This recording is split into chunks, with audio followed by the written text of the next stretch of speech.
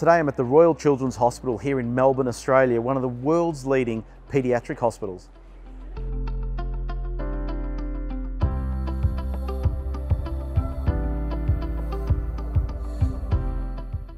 If you live here in Melbourne, you know how important the Royal Children's Hospital is to all of us. There are thousands of patients that come through these doors every year and there are thousands of staff on site here supporting those patients. So as you can imagine, their task is pretty challenging. Well, today we're going to look at a piece of technology that is just helping in a small way to improve some efficiencies here at the Royal Children's Hospital.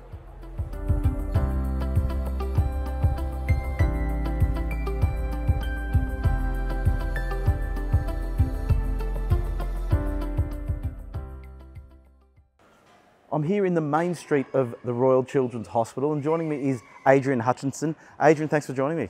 Hi Andrew, how are you? Good, thanks. Well, tell us, Adrian, what's your role here at the Royal Children's Hospital? Uh, so I'm the Manager of Clinical Technology and also the Chief Nursing Information Officer.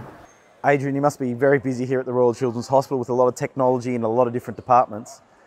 Barcode technology really plays a major role in the hospital here, and, and one area that I really want to look at is blood scanning. How are you using barcodes in that blood scanning process?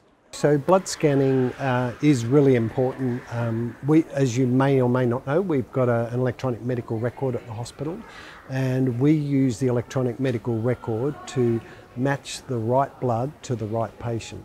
So when we um, identify the right patient, we then have to identify the right blood scan product that we're giving to that patient.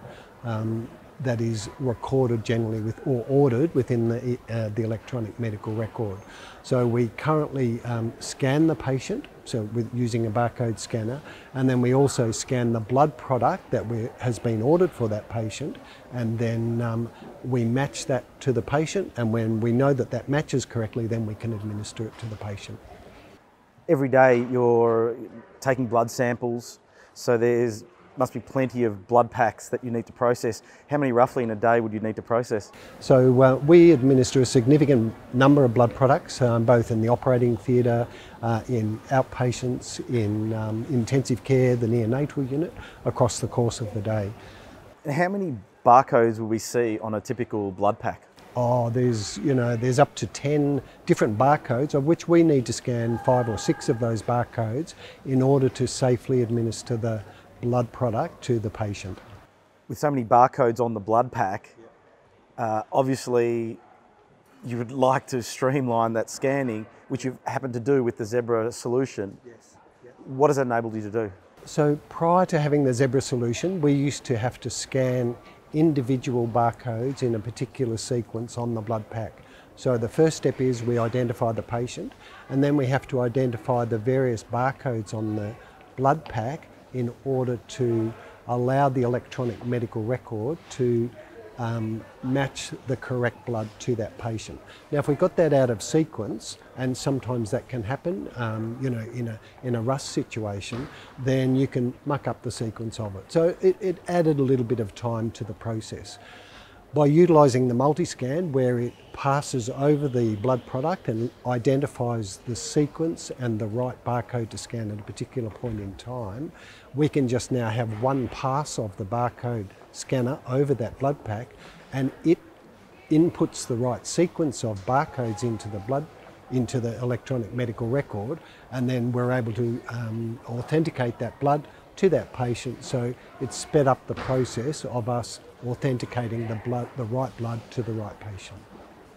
Sounds like it, it's a perfect solution and I suppose improve your speed of scanning but accuracy as well and efficiency. Yes. How are the staff taken to the solution? Oh, certainly, um, certainly across the hospital, it's a much more robust system and it's a much quicker system for people to do.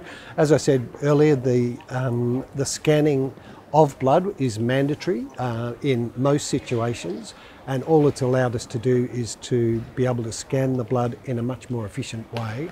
Um, accuracy was never an issue, it's really about the efficiency of how quickly we can actually administer it and much easier to scan one pack of blood rather than five indi individual barcode scans to be able to identify the correct blood. Adrian, how easy was it to implement the multi-scan solution? Uh, re really easy. From a technical point of view, it was really good. We had uh, a lot of assistance from the Zebra technical people to set that up initially and make sure that we were scanning the barcodes in the correct sequence. Probably the biggest change for us was in the change management of people doing it the old way and transitioning them to doing a much simpler way. So the, the change management of the barcode scanning with a multi-scanner was um, probably took a little bit longer than we first thought because we've got a big hospital, we've got lots of people that need to administer blood and making sure that they're aware of the technology and the simplicity of the technology, I think it took a little bit longer than we first thought.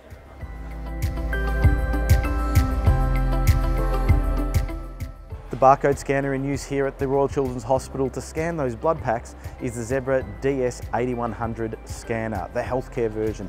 Now the healthcare version means that its outer housing has been designed to reduce bacteria buildup and it's also disinfectant safe, which is very important here in a healthcare environment. There are a lot of other features, such as the imager scanner. It can scan 1D and 2D barcodes. It can even be used as an operational light.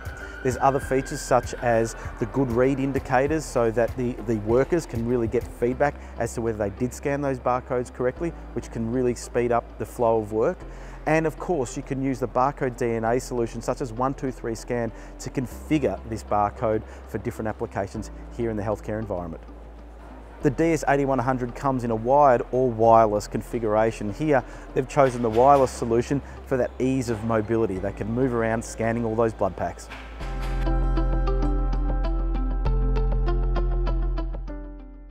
When you invest in a Zebra scanner, it can do more than just simply scan a single barcode as we've seen here at the Royal Children's Hospital with the multi-scan solution on their blood packs.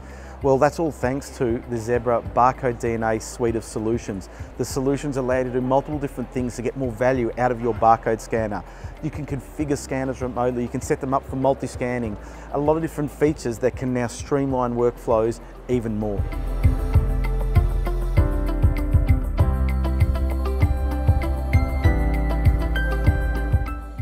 A big thank you to the team here at the Royal Children's Hospital for allowing us to come and witness some of the Zebra technology in use behind the scenes. The Royal Children's Hospital is really an iconic hospital.